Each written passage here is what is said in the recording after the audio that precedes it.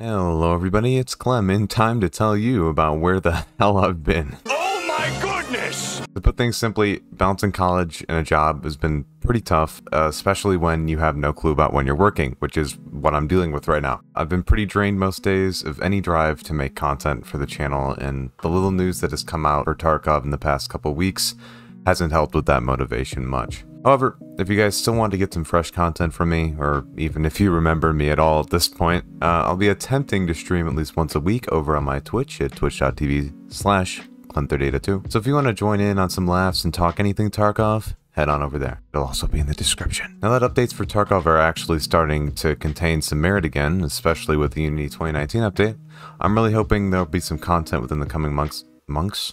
What the fuck? I'm really hoping there will be some content within the coming months I'll be excited about. Specifically with Unity 2019, we'll get the door open to a lot of potential optimizations and performance tweaks to the game, and you know I'll be getting my hands on those the second that they come out and testing their efficiency. For those who sub to the channel while I've been gone, I, I, I didn't expect to get any growth for being gone for an entire month, so thank you and welcome aboard. Expect some more content to come out in the coming months, and stay tuned.